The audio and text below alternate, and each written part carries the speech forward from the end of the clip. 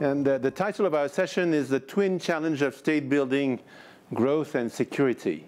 And uh, I was discussing uh, that title with our two distinguished uh, panelists, uh, um, Sheikh Ghannouchi, the founder of uh, and Minister Cissé, the Minister of Economy and Finance of Mali. And we were both in agreement that actually there are probably many more than two challenges when it comes to to, to state building. Um, I myself, I've been involved in, in transition in fragile states when I was the head of peacekeeping at the United Nations. And I can see that one of the foundations of a peaceful transition is inclusivity, but at the same time a state that delivers to its people.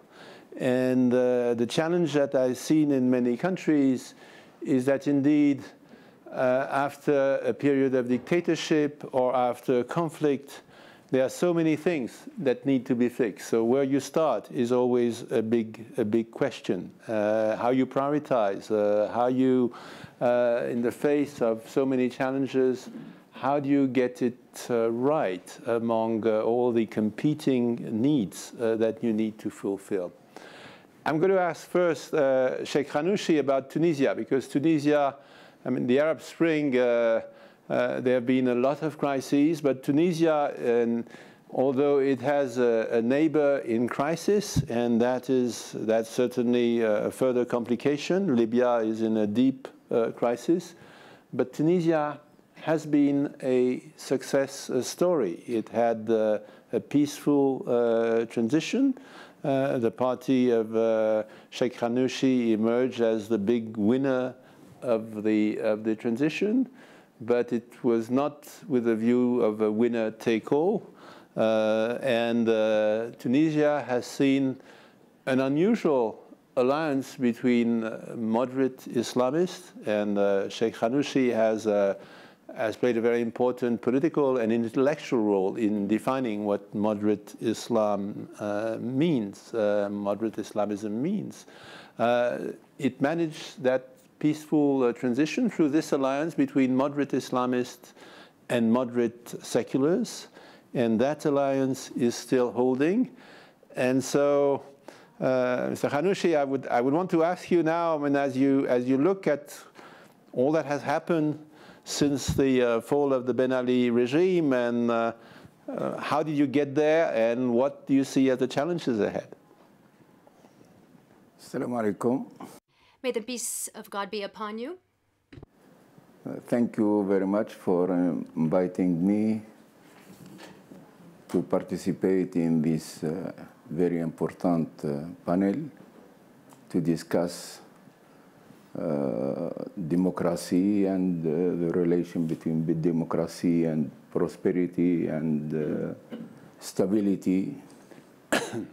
you know that Tunisia has achieved very important uh, trans democrat trans transition democrat and uh, we succeed to uh, organize many free and fair elections and we succeed to drafting draft very progressive constitution where uh, the main rights have been guaranteed. Uh, the human rights, the equality, gender equality, the uh, con, con, the uh, right of believer and unbeliever. So Tunisia enjoy the first and real democracy in Arab world, and it con uh, considered as ex exceptional example, proof proves that uh, democracy, once it is uh, possible in Tunisia, why not in other Arab world? Uh, and now we face another problems, the, the, problem of the prosperity, the problem of stability vis-a-vis our uh, fight against terrorism. And this is uh, not uh, uh, only Tunisian problem, it's international problem, and we cooperate all with all democracies to contradict and to fight against this uh, disease. So we are uh, very optimistic. We face, we are facing many problems, many challenges, but we have enough confidence that Tunisia will continue achieving their goals of its very exceptional revolution. Thank you very much. Minister Cissé, I mean, you've done a lot as a minister in the government of Mali, and uh, Mali has made big progress since uh, the, uh, it was almost overwhelmed by uh, uh, an ex extreme radical movement who was willing, was ready to march on Bamako if it had not been an international intervention. Um, as you look at your country today, and I know that two days ago there was a an attack that made that killed 70 people in the north. So the the security issues are, are still very much uh, very much there. But as you look as a minister at the challenge that you have in your in tray, so to speak, I mean, uh, beyond the Ministry of Economy and Finance, I mean, how do you see the, the situation in Mali and uh, how, do you, how would you prioritize? Merci bien, Monsieur Guéhenno. Thank you very much, Mr. Guéhenno. Thank you for having given me the opportunity to take the floor here as Minister of Economy and Finance in a country which went through a crisis, a deep crisis, which affected the integrity of our country. I am very pleased to be able to talk to uh, this crisis and the solutions we have perhaps found. In Mali, remarkable progress has been made. Concerning solutions to the type of crisis we went through. The state now is uh, present uh, throughout the country, or almost, not entirely, but almost. This is considerable progress. The inhabitants of Mali have started uh, talking to one another. They have launched a social dialogue which is slowly bearing fruit. This is a dialogue which is creating social and national cohesion between the different groups, the different ethnical groups in particular. Now, this peace process, this reconstruction process in Mali was not an easy thing. In fact, it is still a difficult thing. It is difficult because it is multifaceted and also because it presents uh, a wealth of daily problems. Some of the obstacles uh, we encounter are, for example, the suicide attack you just referred to, which took place in the north in a town called Gao, in a camp where the armed forces of the country were grouped together and were meeting those movements who had decided they would sign the reconciliation and peace agreement. They organized uh, mixed patrol groups and were based in a camp which was attacked, as you mentioned. Much damage was done. There was also considerable loss of life. These are the types of obstacles we meet as we try to rebuild our country and establish peace. These obstacles, these difficulties discourage the government sometimes and the allies of our government. Uh, and this could be a threat to any form of sustainable peace. The situation we know today is a situation which is very convenient for a certain number of people. So we uh, are now in the midst of a process which uh, presents us with many obstacles, which we will have to try to solve on a daily basis. Furthermore, this process is a very complex one. Uh, the crisis we have experienced is multidimensional. It isn't simply a political crisis, an institutional crisis, or a security crisis. It's a mix of all those dimensions. It is, first and foremost, a political crisis, uh, and there was a coup all institutions being abolished at the time of that coup. Two thirds of our territory was then occupied, occupied by rebels, uh, which were joined by terrorist groups. So in 2012, 2013, we were faced with a situation where the central state had been completely abolished, and where we had a rebellion on our hands with the jihadist movements in the north of the country.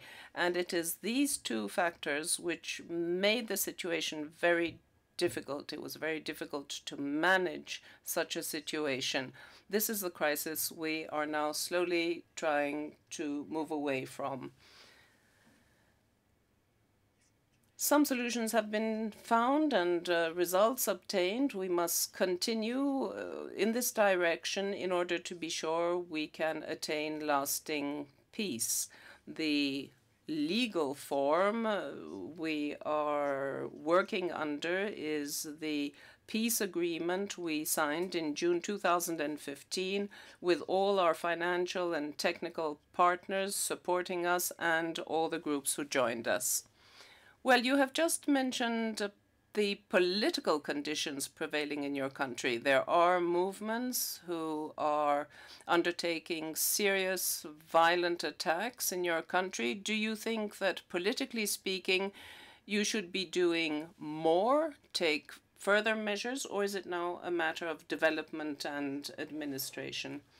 Well, when I said the state was present almost everywhere, uh, I was referring to the fact that we're not present, fully present, in the north. So the state must reestablish its authority in these areas in the north of the country. It is if the state establishes its presence that basic services will be supplied to the population, which is not the case just now.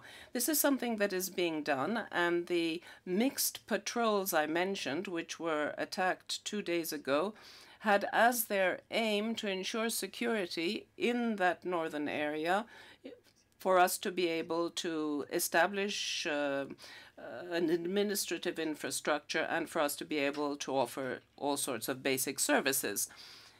Efforts have been made, but unfortunately, the efforts made uh, were washed away, as it were. If you look at Mali, as most of you know, uh, you will see that it is a country which has very few resources. It's one of the poorest countries in the world. So, few resources, a vast uh, territory, two and a half times as big as France. And it's a very extensive uh, country. We have more than 5,000 kilometers of borders with uh, a great number of countries. Furthermore, we are landlocked. Because we are a landlocked country and because we have few resources, all the efforts made in order to help the northern regions did not bear their fruit. The efforts uh, didn't bear visible fruit, let's put it that way. If you spend money on a project, if you invest on a school or a maternity in the south, this could cost X number of francs, but if you have to do the same thing in the north, it will cost you a hundred times more. Because the northern part is difficult of access, because it is difficult, therefore, to invest money in that region. Investments made were wiped away also because this is not the first rebellion experienced in that region. Since our independence in 1960, we have had five rebellions. It's a cyclical phenomenon. Every 10 years, there's a rebellion, and each rebellion brings along with it misfortunes and uh, much damage and destruction. So everything that is done over a period of time is suddenly destroyed. And the first to suffer from this um, is, of course, the population of the country, and development is slowed down. Now we're working towards a lasting peace. We hope that the agreement signed by all the stakeholders will lead to lasting peace in Mali. Of, of rebellion. So what was done wrong in the previous rebellion that now you need to do differently so that there's not another, another cycle? Alors, je pense que tout. Well, I think really it's a matter of uh, development. That's what it boils down to. The state within uh, its limited means, tried to develop the North, but th the efforts were not considered as being sufficient, quite rightly so.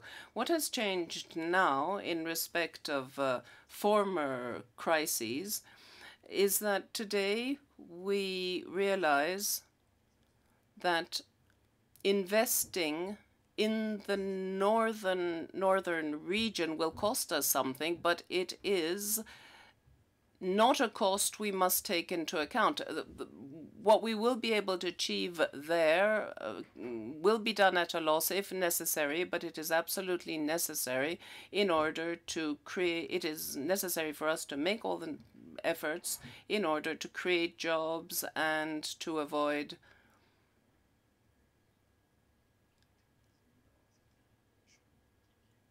that certain young be tempted by terrorism because they live in po poverty and uncertainty. So that is what has changed in respect of what happened in the past with our partners. That is the way in which we're looking at things. Development has been mentioned, and it's you you you addressed very well the political side of things by reckon by making sure that moderate Islamists and moderate secular uh, would uh, would work together. But in Tunisia, like uh, other countries in North Africa, there are lots of young people, and many of them uh, don't have a job. And uh, that require, I mean, uh, jobs, they cannot be created by the state. Uh, they need uh, foreign investors. They need confidence in the country. They need an open economy. How do you see the, the challenges for Tunisia there? There's young people without a job, which can, can become a, threat for the stability of the country. I fully believe that uh, it's very wrong to, to think that we can uh, contradict, that we can fight against terrorism without development, economic development. And uh, also in the same time, uh, it's not easy to fight against uh, uh terrorism without prosperity. And uh, we cannot achieve the stability without also prosperity. So we have to fight global global war against terrorism using development, democracy, because without democracy we couldn't uh, contradict and uh, fight against terrorism. So we have to uh, medicine, global medicine against this disease and, uh, pro and uh, giving uh, young people their needs, giving them the job. So uh, also I would like to insist that uh, without moderate interpretation of Islam in the Islamic world, we couldn't fight against terrorism because terrorism is based on uh, lack of development, lack of job, and also based on false and fake interpretation of Islam. So in this uh, in, in, this uh, view, we propose the uh, real interpretation of Islam. We propose the democratic interpretation of Islam, the moderate Islam, to fight against the uh, false interpretation. The people who interpret Islam in wrong way to justify the injustice, to, uh, to justify uh, all uh, wrong things. So without uh, real interpretation, democratic interpretation of Islam, we couldn't contradict and fight against this disease. So we need a global, a global solution to contradict and to fight against terrorism. In the same time, we fight against uh, underdevelopment, poverty, lack of uh, uh, good education, good health. So uh, democracy is the uh, frame, the, the main frame to uh, improve, to develop the, uh, the national unity mm -hmm. against terrorism, the international unity also against terrorism, and to help the, to help uh, people to uh, to find jobs, to improve the economy, and uh, you notice that uh, last month in Tunisia we we have seen uh, very important uh, international uh, congress and international meeting against poverty where many many governments many many businessmen come to Tunisia and uh, participate and sharing uh, our uh, our project for contradicting and fighting against uh, terrorism.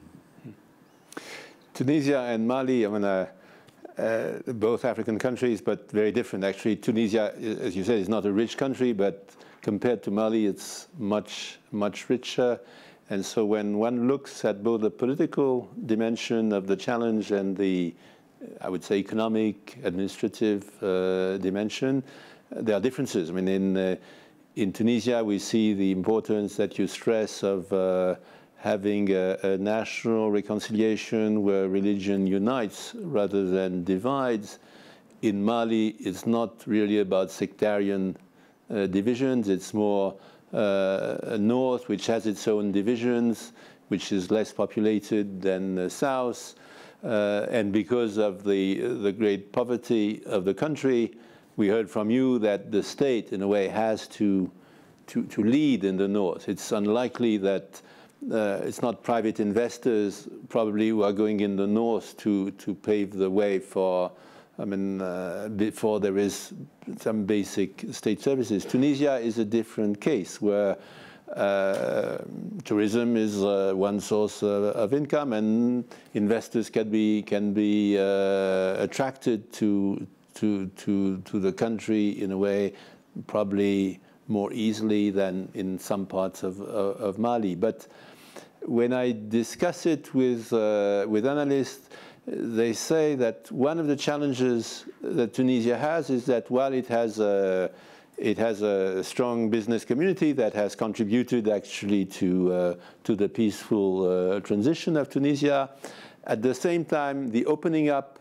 of the economy, there's still people, and it's not unique to Tunisia. You see many, many countries where the economic elite is not always uh, determined to really open up the economy uh, to outsiders. And I would assume that Tunisia, and here we are in Davos with uh, a lot of business people, investors looking for opportunities, um, for the creation of jobs having those investors uh, coming to Tunisia, putting money in Tunisia is going to be very, very important. And so what, uh, what can be done there? What, uh, is it about regulations? Is it, uh, how can one really overcome the, the obstacles that uh, can limit foreign investment in Tunisia? You know that uh, Tunisian system is open system democratic system. This system is based on the consensus mm. between uh, all parties, all trade, all trends, mm. Islamist, non-Islamist. so it's inclusive model. Mm. and also in the economy, in the economy, we would we our system is based on the consensus also between trade unions and uh, Chamber of Commerce.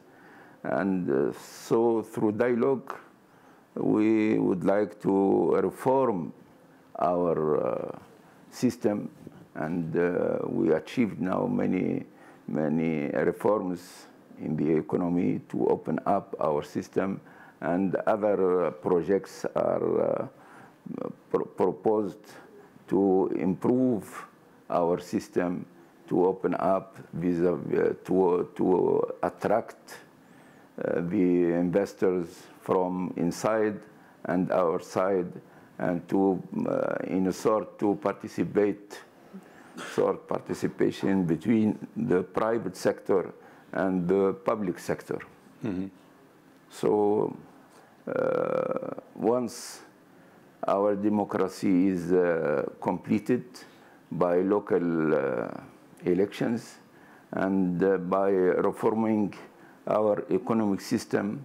I think Tunisia uh, can be, uh, Tunisian can be optimistic and the Tunisian system is uh, the international economy can uh, have enough confidence in Tunisian system and uh, the, in a manner that uh, terrorism has no future in Tunisia because uh, Tunisian people is moderate people and once we succeed to improve our, our economy and complete our democracy and uh, guarantee the stability in our neighbors in mm. Libya. Uh, Tunisia has a very flourish uh, future. Yeah, you were telling me in a conversation when we were discussing uh, this this session that yes, there are Tunisia. نعم هنالك جهاديون من تونس وأنك تؤمن أن المجتمع التونسي قوي بما فيه الكفاية كي يبدو هؤلاء أغراب سيد الغنوشي لا يمكن لهؤلاء أن يأخذوا من تونس مقرا لهم. ولدينا قدرات في الشرطة وفي الجيش. تتحسن يوما بعد يوم. وشعبنا شرطتنا وجيشنا في حالة تأهب للتهجم على هؤلاء الإرهابيين. و Uh, in Syria and uh, Iraq, it's true that there has been uh, I mean, Tunisians have a, res, uh, a, reputation of great moderation and wisdom, but it's true that there have been uh, a significant, uh, com com compared to the population, a significant percentage of uh, violent jihadists coming from Tunisia. How do you how do you explain that?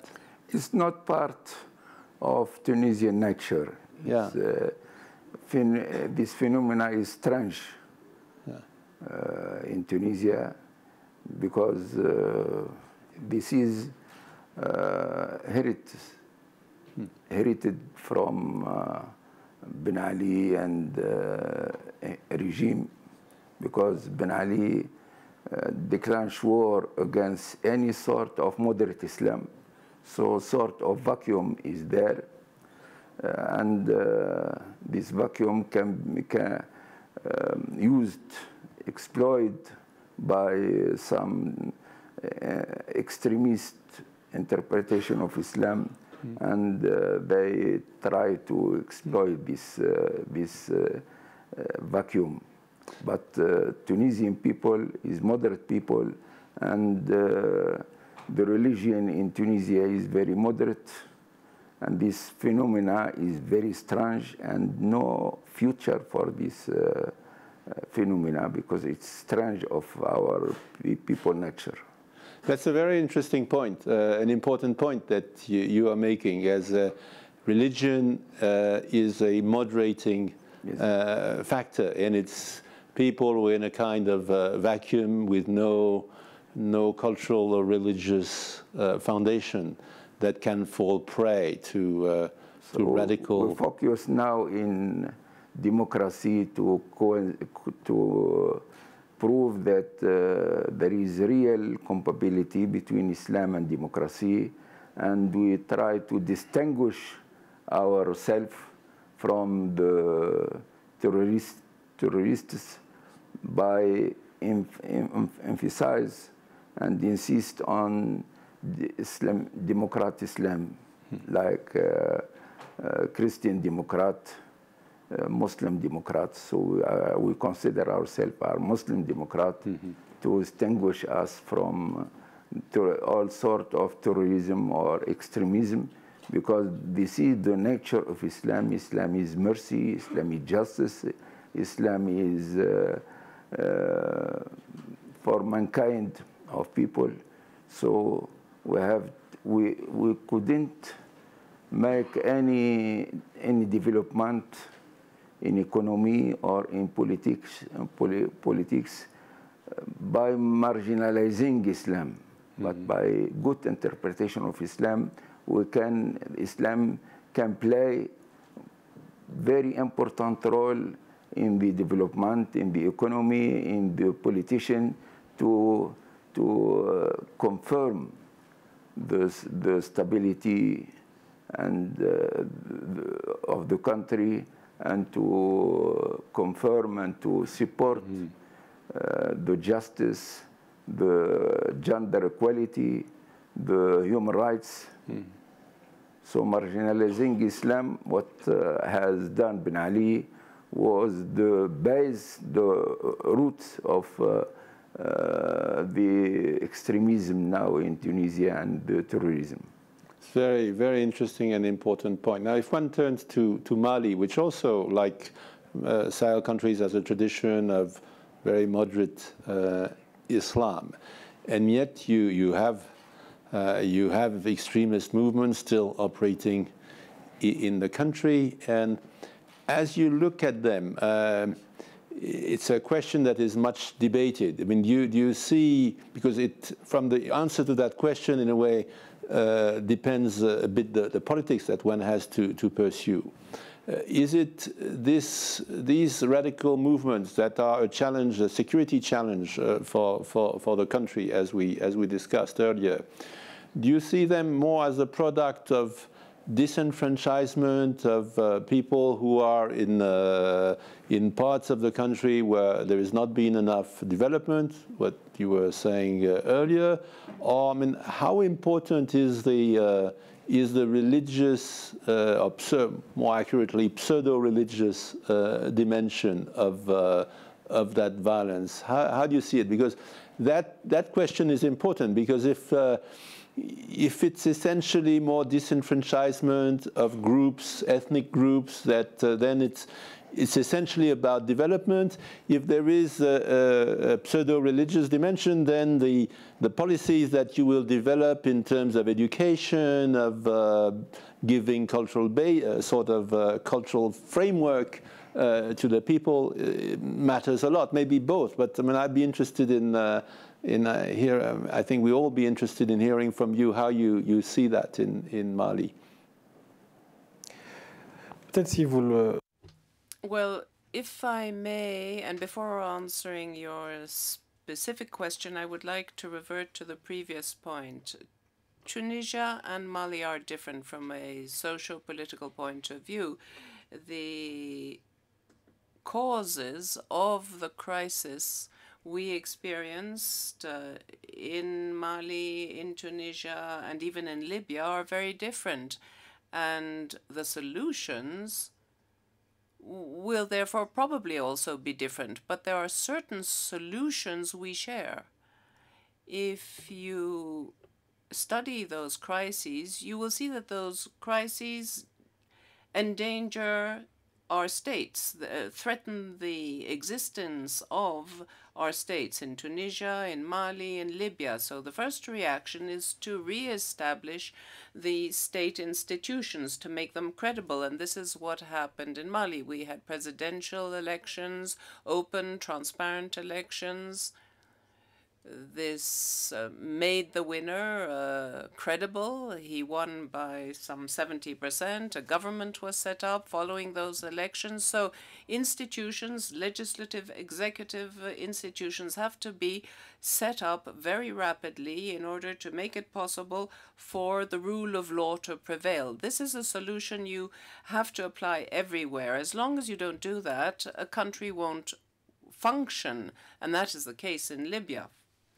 Secondly, once that has been done, and that is what we tried to do in Mali, once that has been done, one has to try to re-establish economic stability. In Mali, we wanted to uh, launch a trend towards growth. For 10 years before that, we had had an economic growth between uh, 7 and 10 percent, but then we went back down to zero growth and uh, even negative growth, as it were. So we have to make sure economic stability, macroeconomic stability is established. That is also a common, a shared solution. Really high growth. I mean, many countries would envy yeah. the, those rates of growth, and yet there was a security crisis. So that would suggest that either the products of that growth were very unevenly distributed, or the cause of the crisis was not really an economic uh, cause. I mean, what, what would you answer to, to, to that? Non, la, la, la réalité, c'est que. No, in fact, in many uh, countries south of the Sahara and uh, in Mali, growth is not fairly distributed. Growth has to be inclusive. Growth has to benefit to the poorest in our societies. This was not the case previously. At present, we have decided to do things in such a way that any growth will benefit the whole of the population and in particular the vulnerable parts of our population. That is what we're going to try to do and to achieve. I think the private sector has to play a fundamentally important role here. In the case of Mali, the private sector played a very important role in reconstruction, in relaunching the country, as it were. This has been um, experienced in other countries. When there's a crisis, when institutions disappear, the private sector continues to function. We don't quite know how that works, but it stays there. In Mali, that is what happened. The private sector showed that it was resilient in the face of a considerable crisis, uh, as we uh, are talking about a coup after all and a multidimensional crisis. So we have to make sure that uh, the private sector can continue to function even if state institutions uh, are in jeopardy. Now, I don't think that we would have been able to survive the crisis, uh, and there was a coup, as I mentioned, uh, if we hadn't had investors. When we had the coup, the international community withdrew. The international community does not take kindly to coups. Uh, uh, for, we lost 40% of our budget. In fact, our budget was uh, feeding off taxes uh, that uh, local companies and foreign investors paid to our treasury. This is what made it possible for us to continue paying wages and salaries over a few months. Had it not been for the private sector, we wouldn't have been able to pay those wages, and the crisis would have been far deeper than the one we experienced in 2012 2013. I think we have to be able to reassure the private sector, make sure that it can work in a secure environment and flourish in a secure environment. That's what we have tried to do by adopting laws that protect the private sector. We have also tried to provide uh, basic infrastructures and funding to that sector. That is what we're still trying to do now. We furthermore have to reassure the private sector when it falls victim to a crisis, as was the case in Mali. Part of the private sector suffered during the war that took the war that took place in the north. Many uh, infrastructures were destroyed uh, rapidly. The state stepped in, set up programs uh, to compensate those who had lost in the course of the crisis. That is a confidence building measure. If there were to be another crisis, we hope that the private sector will continue to work knowing that it will be able to rely on the state if the damage is too great or if losses are considerable. This is important for us in Mali. We're using the private sector in order to finance development projects in the north. We have set up a sustainable development fund aimed at helping the north and the development uh, projects in the north. Uh, each year we're going to pour into this fund something like $200 million on a yearly basis. Part of these resources come from the private sector. We levy 0.5% of the net profits made by the private sector. The sector, the private sector understands it is in its interest to pay this tax, if you like. It is what ensures security and peace. And if there is no security, no peace, the private sector is threatened. So this levy, uh, th this tax will be levied over three years, our hope being that within three years' time we will have lasting peace. Now, Mali and Tunisia. I think Mali inherited its crisis. The jihadist movements in Mali came from elsewhere and are in particular the fruit of the Libyan crisis the vulnerable area in that part of Africa at the time was unfortunately Mali. When Libya was attacked by international forces, uh, the jihadists left and came to Mali. Uh, there are no Malian nationals in those groups, in those forces. So we have inherited these movements because there was uh, poverty in the area. That is why we have to change the situation in the area. That's why we have to offer alternatives to the young in the northern area of our country. Offer something better to the young than what the um, jihadist movements are offering. They have a lot of money. They live off organized crime and uh, drug trafficking. So if you can create jobs, I am sure that um, they will understand where their best interest lies.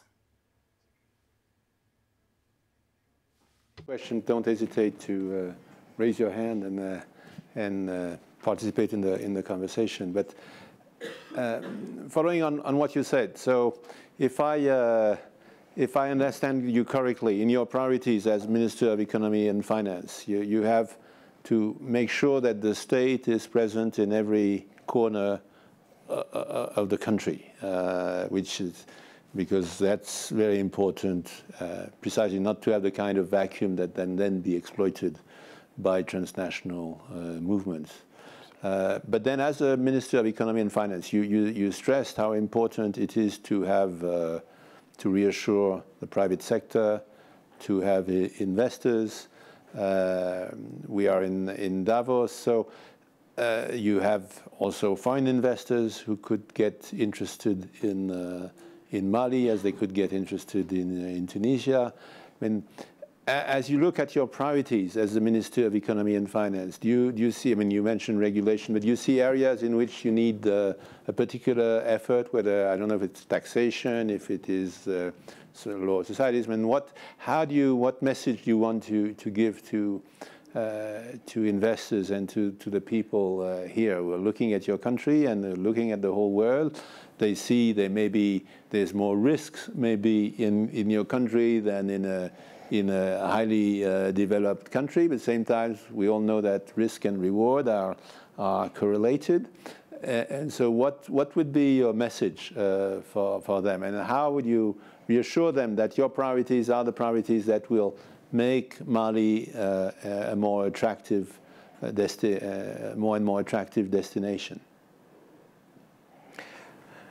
L'objectif que uh, which might be mine as Minister for Economy and Finance, is to convince, first and foremost, potential investors of the fact that Mali could be an interesting choice, that uh, Mali as a destination is attractive to investors attractive because of the business opportunities which exist in our country. Let me mention, for example, the mining sector. We are the third gold mining country in Africa, south of the Sahara. 50 tons of gold on average on a yearly basis exported from our country. Over and above gold, we also have a lot of uh, bauxite, manganese, uh, and other ores, the uh, crisis we experienced has in fact shown us that in spite of the crisis, investors from abroad continued to work with our country, in particular because of our mining activities. There is a guarantee, there's a security we offer to investors.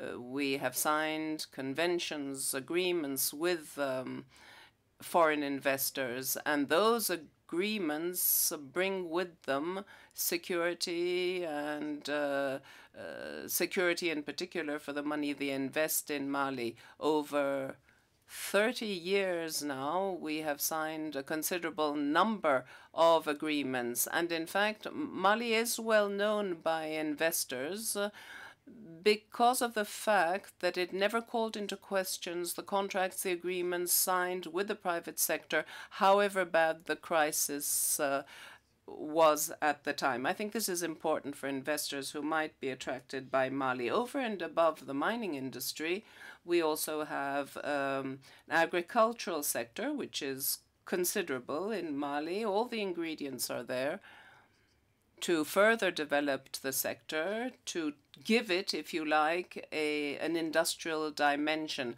Uh, the country is big. We have areas in our country where there is a lot of arable soil. Uh, we have water resources, two very important rivers, one of them being the Niger River.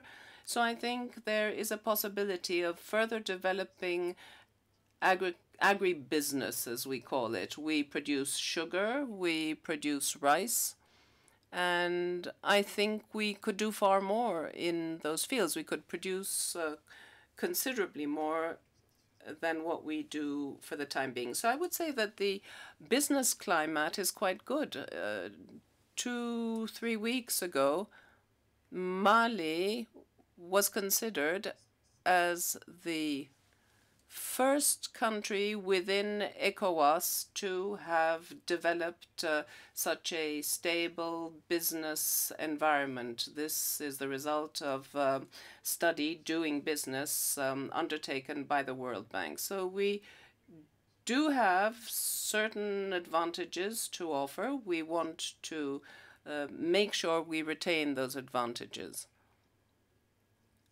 Investors have seen that uh, crises uh, don't affect the private sector. We need foreign investors. We need them to come to our country so that we can create uh, job opportunities, and this should uh, help us, in fact, uh, fight against the destabilizing forces which exist in our country because we open opportunities for the young. ECOWAS and uh, the regional uh, dimension of development and your good positioning uh, there. And that, in a way, we, we're coming close to the end. So unless there is uh, other questions, I, I, will ask a couple more, more questions. Um, precisely that regional environment, both in the region, uh, West Africa, North Africa, I mean, for Tunisia in the eastern border could be better. Uh, you have Algeria on the on the on the western uh, on the western border, and then there is Europe on the other side uh, of the Mediterranean. Uh, there is, I mean, the the, the tragedy of uh, migrants uh, going to Europe, but it also shows that the both the human and the economic connections between Europe in Africa are natural. Uh, there has been, there, it's partly history, it's also just uh, geographic uh, proximity. And I think I, would be, I think we'd all be interested to, to hear from you, in a way, this relationship between your country and Europe, the European Union, European countries uh, on the other side of the Mediterranean. Uh, how do you see it? How can it be developed? In a way that benefits you, that benefits Europe. Uh, there, is, there is a natural connection, and yet there's a sense that the full potential is far from uh, being uh, realized. So uh, this is a question I would ask both of you. I don't know who wants to, to start. Ghannouchi. It's clear that uh, the attack terrorist attacks against uh, Europe and against uh, United States itself prove that uh, our our global become small village. Yeah. and none of us is immune from terrorism from extremism. So we have to fight together hand in hand against this disease because this is make uh, present a real threat against the civilization, against the international peace. So uh, we have to fight in all uh, field this disease, among them uh, in economy. So um, speaking about Tunisia, I think that uh, Tunisia succeed to uh, implement and represent real democracy, exceptional democracy. It's a successful story of uh, tra transition, democrat transition. This is this is example is uh, very important hmm. to invest in to make it successful to, to complete this, uh, the success of this uh, model because investing in democracy, helping, supporting democracy is the short way to attack and to uh, have victory against uh, this disease. Hmm.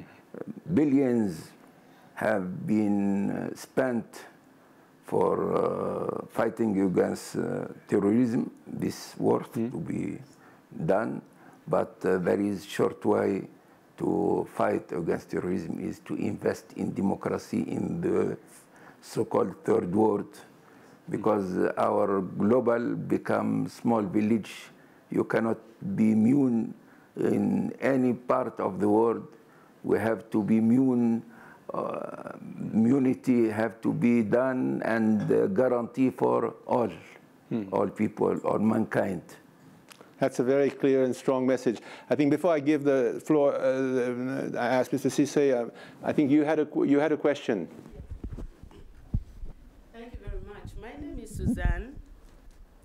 My name is Suzanne Matale. I come from Lusaka, Zambia. I just want to ask my minister from Mali, he's painted a very wonderful picture about the contracts they are signing or have already signed with the investors regarding the mineral wealth that they have. How transparent the processes were in contracting with the investors. Do the people of Mali know the content of the contracts that they have signed? And also, we live in an era of illicit financial flows. I speak that because that's what's happening in the rich mineral countries like mine, where our, you know, funding is being siphoned out of a country and it's not benefiting the local people. What safeguards do they have to ensure that that doesn't happen? Because they're at a nice position now where, where they can make sure of that their policy environment is watertight. Thank you very much.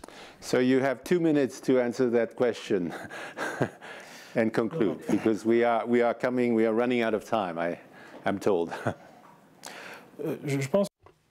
Well, I think that about the, the contracts, the agreements I mentioned, um, much more can be done. We can do much better than what we have done. Many of these contracts were signed 20, 25, almost 30 years ago. We want to respect these contracts. Some of them are uh, going to reach uh, the end of their validity. We want to renegotiate them, and I think that uh, we will be able to do so and do so better than what happened 30 years ago. So certain important aspects have just been mentioned now. Uh, by the person who put the question, which were not taken into account when we established the first contracts. Now, Mali, since 2007 2008, Mali has become a member of uh, the initiative on transparency in uh, the mining industry. So we respect the principle established. Uh, every year there is a compliance audit that um, makes it possible to see how the resources uh, we draw from the ground are used and all information is made available to all citizens of Mali who wish to be informed. This is particularly uh, aimed at our civil society. So the contracts we will be renegotiating will be better than those we negotiated in the past because we'll be taking into account things we hadn't taken into account in the past. Important factor in the success of a country were the quality of its leaders. So we've been very privileged to have you both uh, today, two people deeply committed to the future of their country, and I think that gives a lot of hope for both uh, Mali and Tunisia. Thank you very much.